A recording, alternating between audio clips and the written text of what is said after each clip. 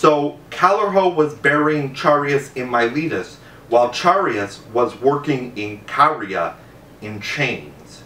He was soon physically worn out with digging, for many things weighed on him weariness, neglect, his chains, and above all his love. He wanted to die, but was kept from doing so by a faint hope that perhaps someday he would see Callirhoe. Then Polycharmus, the friend who had been captured with him, since he saw that Chaereas could not work and was being beaten and shamefully mistreated, said to the overseer, Apportion a special area to us, so that you do not set the other prisoners' laziness to our account, and we will do our share each day. The overseer agreed and assigned their share. Polycharmus, a strapping young man who was not enslaved to love, a cruel master, completed both their allotted portions of work practically single-handed, and he gladly took on most of the work to save his friend. So they were in this miserable situation, and eventually had to realize they were no longer free.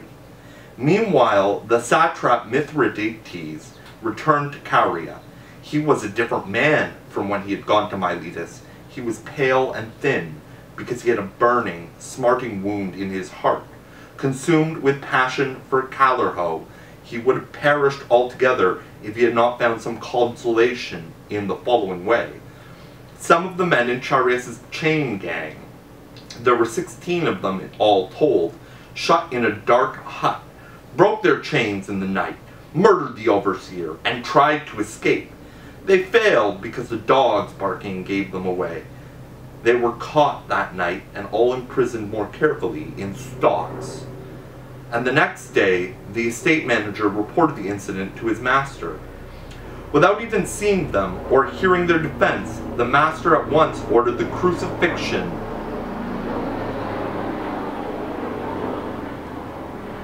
of the 16 men in the hut. They were brought out chained together at foot and neck, each carrying his cross. The men executing the sentence added this grim public spectacle to the inevitable punishment as an example to frighten the other prisoners. Now, Chaereas said nothing when he was led off with the others, but Polycharmus, as he carried his cross, said, Callirhoe, it is because of you that we are suffering like this. You are the cause of all our troubles. The supervisor heard what he said and concluded that some woman was their accomplice in their bold enterprise. So, to get her punished too, and have an investigation made do, into the plot, he at once detached Polycharmus from the chain that bound them all and took him to Mithridates. Mithridates was lying in a garden, beside himself with despair, picturing Callirhoe to himself as he had seen her in her grief, absorbed in the thought of her. He was displeased to see even his servant. Look, why are you bothering me? he asked. It is necessary, sir, was the reply. I have discovered the origin of that dreadful crime. The damnable villain knows an accursed woman who was an accomplice in the murder. At these words, Mithridates frowned menacingly. Tell me who this woman is, he said, who was in this plot and helped you commit this crime. Polycharmus said he did not know. He had no part in the business at all. Then he called for whips. Fire was brought. Preparations were made for torture. Now one of them laid hands on Polycharmus.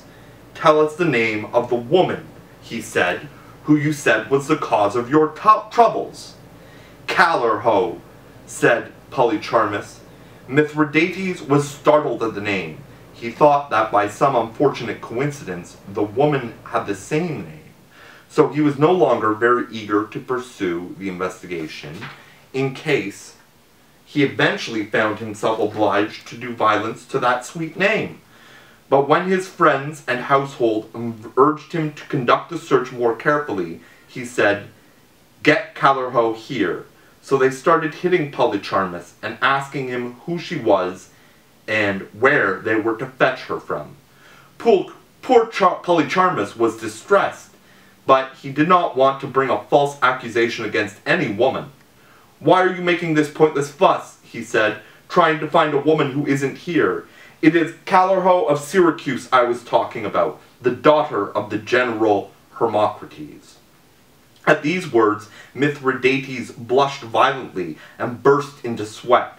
In fact, a tear even dropped from his eye in spite of himself, whereupon Polycharmus himself fell silent, and nobody knew what to do.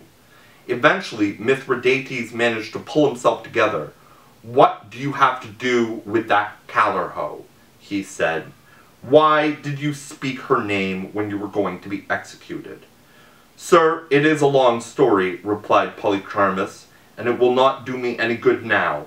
This is not the time to bother you with my chatter. Besides, I am afraid that my friend will be gone before me if I take too long, and I want to share his death, too.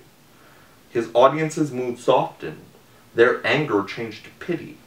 Mithridates was more overcome than anyone. Don't be afraid, he said. You won't be bothering me with your story. I am a sympathetic man. Take courage and tell me everything. And don't leave anything out. Who are you? Where are you from? How did you get to Caria?